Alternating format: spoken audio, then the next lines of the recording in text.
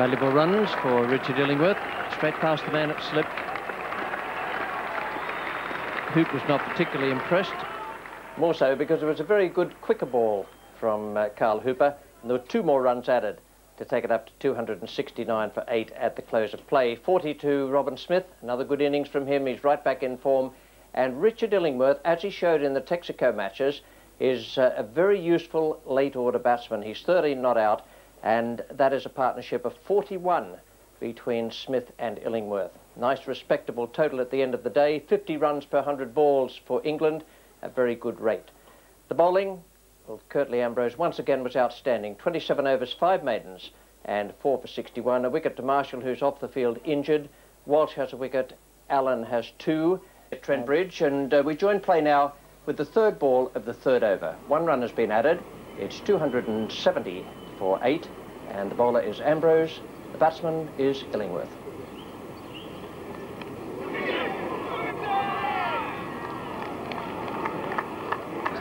Well, my word, Illingworth looked to have taken that on the back of the arm, but in fact, obviously took it on the glove, and West Indies have struck. Ambrose, again, that's his fifth wicket, and Illingworth goes, trying to take evasive action, couldn't do it, and a simple catch. This is what we saw. Illingworth turning his back. It looked as though it had hit him on the back of the forearm, but instead on the glove. Another good piece of hostile fast bowling. David Lawrence, he's keen to get there. He's running to get there. Oh, that's close. My word. How far forward did he get to get the benefit of the doubt? I don't think it was going over the top of the stumps, but probably just missing leg stump.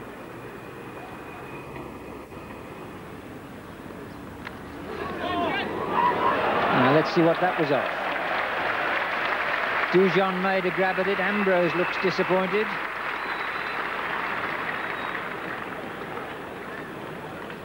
Well, certainly a, a good delivery.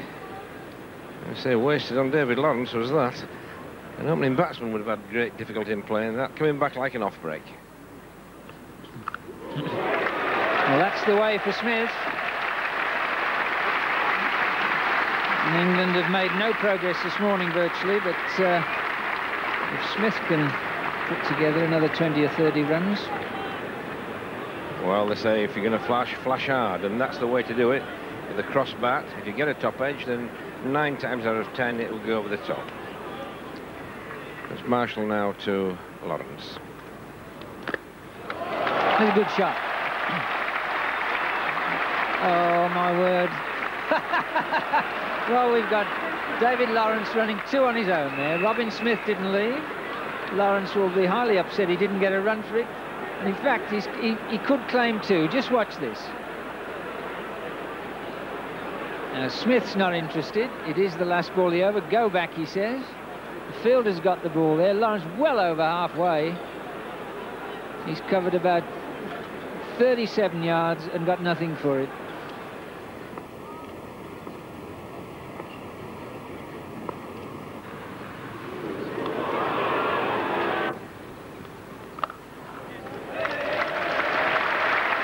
Take the single and it's a half century for Robin Smith. It's another good innings.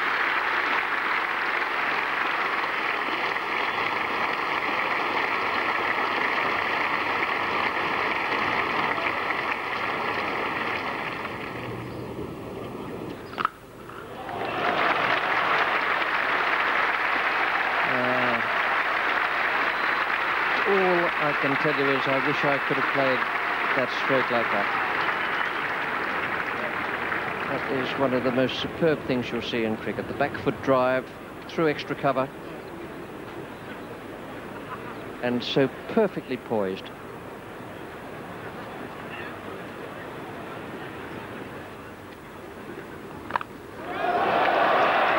Oh, dropped it.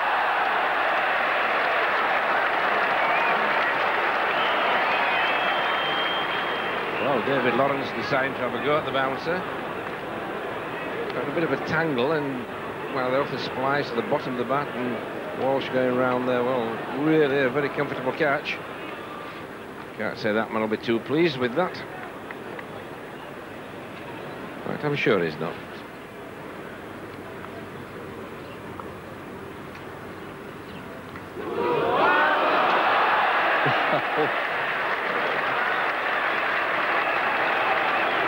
no good saying you wouldn't read about it because you will.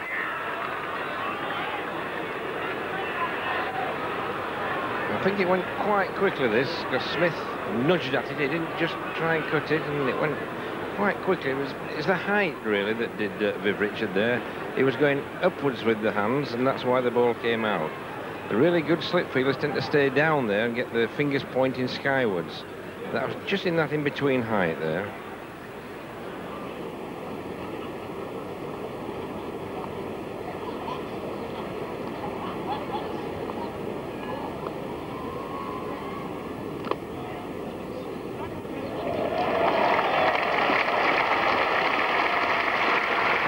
Up to 300 for England.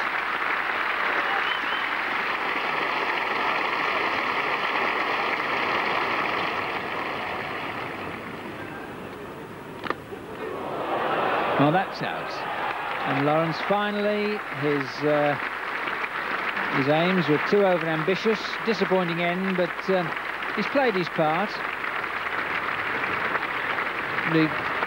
He faced 22 deliveries out of 64 there, and that's uh, a tribute to Robin Smith for the way that he's shepherded his partner through a last wicket stand, and it's been a good one.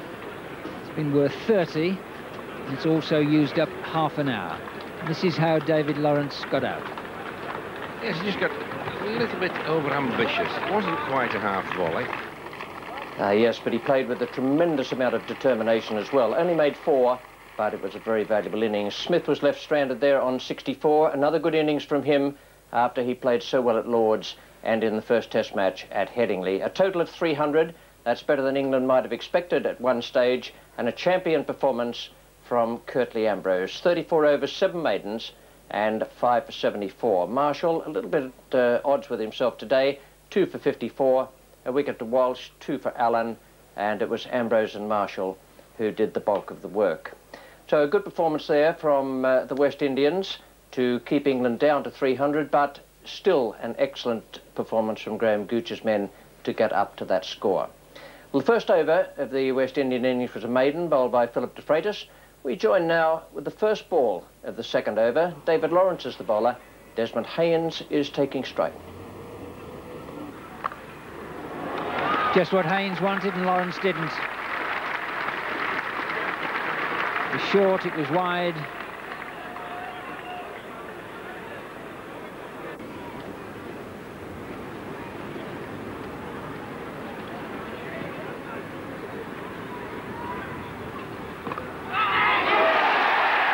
Is out.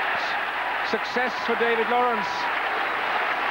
And a big prize for him, Desmond Haynes. Haynes has scored 18, 32 for one, and just before the lunch break, West Indies lose their first wicket. Well, any time's a good time to get a wicket, but to get one eight minutes before lunch and to get the big prize of all, Desmond Haynes, who's the key to the West Indies batting, to get him caught out, bat and pad, nice one-handed catch. Super bowling from David Lawrence. He may be a little bit expensive, He's an explosive type of bowler, but he's got the breakthrough. The Incoming batsman is Richie Richardson. And a change of bowling just before the lunch interval. Richard Illingworth, an early turn to spin.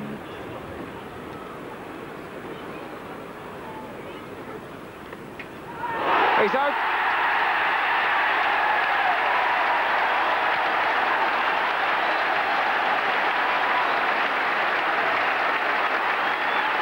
His first ball in Test cricket. Richard Illingworth. Phil Simmons will be the name on his sideboard for the rest of his life.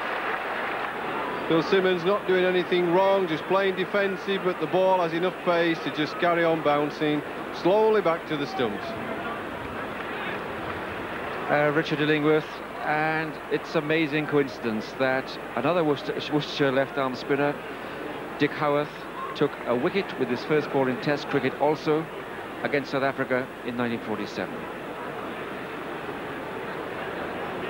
It's a nice ball on a length. Phil Simmons plays immaculately forward defensive, with his hands so soft, kills it that the ball just has time and chance to spin back onto the wicket. It's a little bit unlucky that.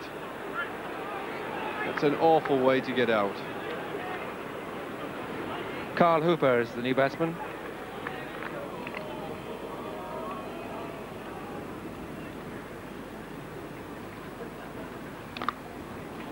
That's cracked away beautifully. Too short from uh, Richard Illingworth. It was a fine shot.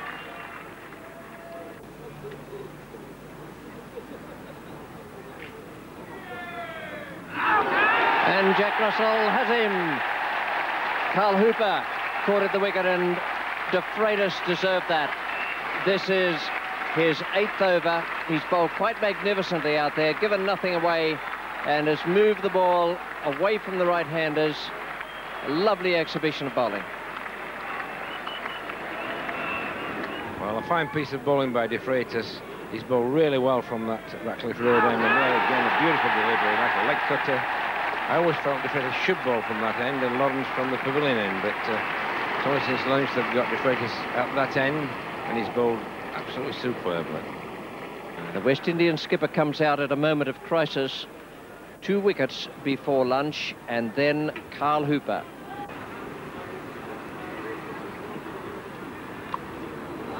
Got it away again. It's a difficult balance for Gooch to strike. He's he wants to attack. He desperately wants another wicket or two, and he'll be clean through the top order. I think Philip de has done a super job bowling at uh, West Indies since lunch. But I think Graham Gooch is a pretty warm, warm to hot day. He'll probably be thinking of giving him a rest and probably giving Derek Pringle a bowl. And that is a good shot. Almost an uppercut. He knew what he was doing. Yes, and I think that ball said to me just a fraction of tiredness here. In fact, we've got a bowling change. It is Derek Pringle. This will be Pringle's first bowl in the innings.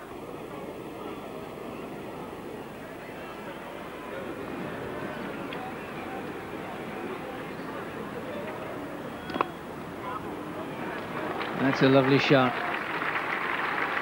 Really was a lesson in timing and placement. Just leaned across it, flicked the wrists, and bisected the field perfectly.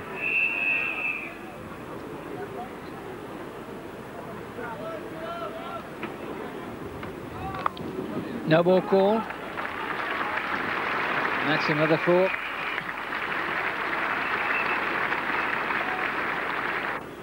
Continue now to Richard Richardson.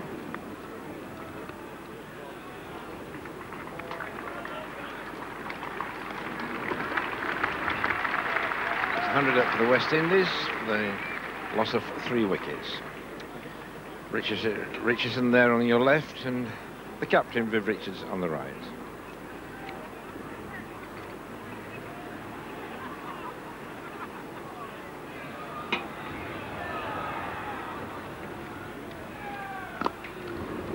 That's another beautiful shot. You could hear the ring of the meat of the bat in that ball from Richards. Just a defensive shot, but it brought him three runs. But yet again, I make the point, Raymond, so many runs that come off Lawrence as penalties for pitching the ball up, which is exactly what you want him to do because mid-on and mid-off are so wide.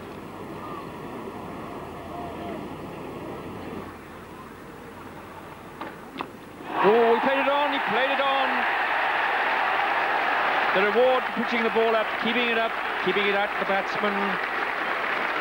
What a match for David Lawrence. He removes first Desmond Haynes and second Richie Richardson. And Richardson was concentrating so hard and playing so very well. But he's been bowled by Lawrence in 43. Yes, Lawrence does concede runs, but he also takes wickets, and that's what's important at Test match cricket. This was a good Yorker. It was right up there, coming down on it and just onto that off stump. But uh, that's a good delivery. Not frightened to pitch the ball up, although he's been driven twice through mid-on and mid-off. Still keeping that ball up there. Logie, the batsman, coming in. Close.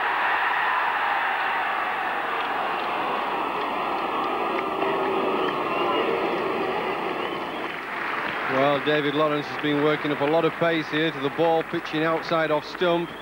And although the England players at slip and the wicketkeeper went up, I think that ball came back and probably just got the pad outside off stump.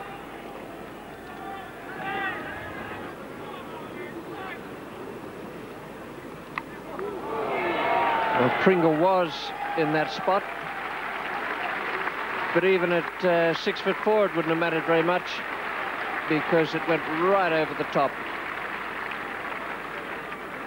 David Lawrence having bowled up a short run. Well, he's only a small man, but my goodness, he does pack a punch. So Viv Richards now in very determined mood. He's on 28.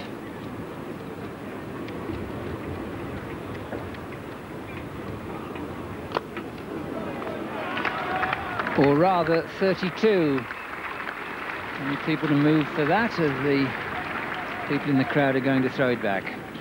Richard Illingworth now to Gus Logie.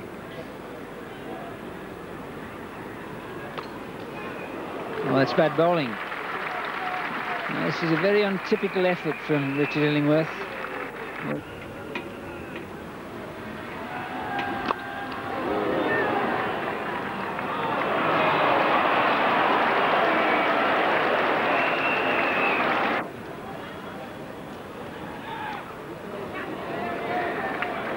That's not quite where Viv Richards intended it, but it's still his half century and a very valuable innings for West Indies. They were in trouble. Richards has come out there and played in very responsible fashion. A new bowler at the pavilion end. Graham Hick comes on to bowl off spin.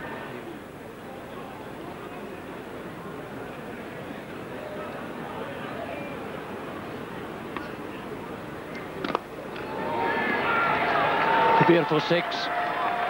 Wonderful stroke by Vivian Richards against the off spinner. Came down and quite deliberately hit it in the air over long off.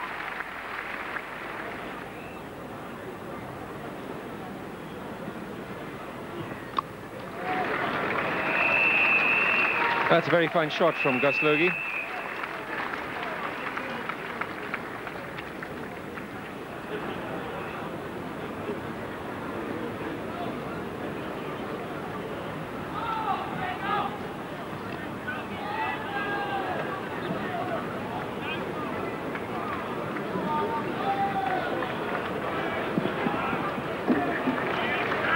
The chase is in vain, and the outside edge off Viv Richards' bat brings him another four.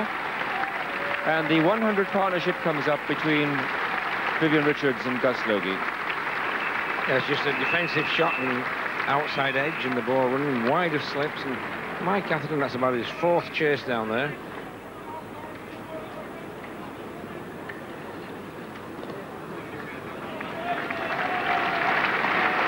And that's 50 to Gus Logie. Timely for his side. And talented too. Played a lot of shots very fluently at the start. Had a zooming start, but still has played with great responsibility. So we have the return of David Lawrence from the Radcliffe Road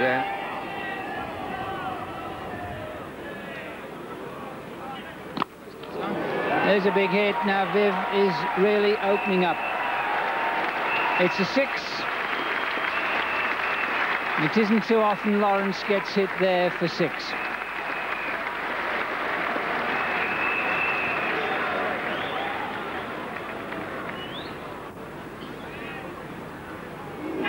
Oh, that was well bowled. and it looks as though Russell has dropped him.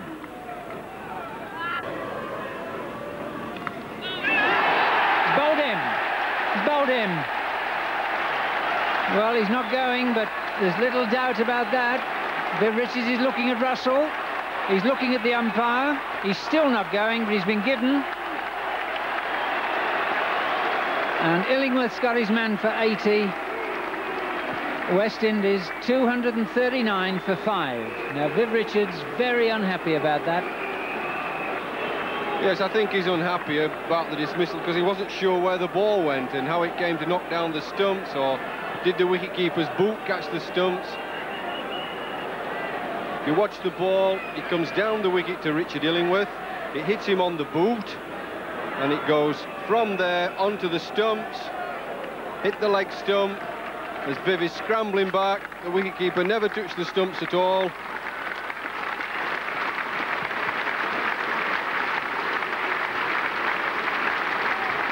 And there we see the bails coming off clearly before Jack Russell's gloves are anywhere near the stumps.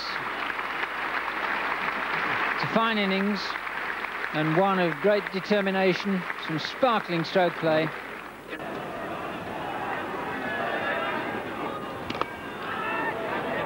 And that'll give Gus Logie the chance to pierce the field. Two more runs added up to the close of play to take it along to 262 for five. That's a very impressive scorecard because the West Indies were in trouble at one stage. Simmons out for 12 and Haynes 18. Then Richie Richardson fell to Lawrence for 43, Hooper for 11, and Logie remained 72 not out with Dujon unbeaten on three. 23 extras, 262 for five. But the controversy of the day was that dismissal of Vivian Richards. Now, one man in the same eye line as Jack Hampshire, the umpire, was Richard Illingworth. He was of the opinion that the ball hit the stump on the way through, and he voices that to umpire Hampshire as he turns around now with Richards watching Russell. Bold, he says. And he said later on at the press conference he was of the opinion that the ball hit the stumps. Now, Sky Sports are able to show us a different angle from mid-wicket. Does the ball just clip the stump on the way through, onto Russell's foot, then back onto the leg stump? Well, there's no doubt Richards is well out of his ground. You've seen umpire Kitchen raising his finger and then refer to umpire Hampshire, and it will stand as bowled. And you may even find tomorrow that the England wicketkeeper Jack Russell was of the opinion that the ball flicked the leg stump on the way through. The bowling figures, very good bowling there from Philip de Freitas, 20 overs, 7 maidens, 1 for 37. David Lawrence bowled with great speed and tremendous determination all day, 17 overs, 2 maidens, 2 for 87. Delayed mm-hmm. until 110. Thunderstorm.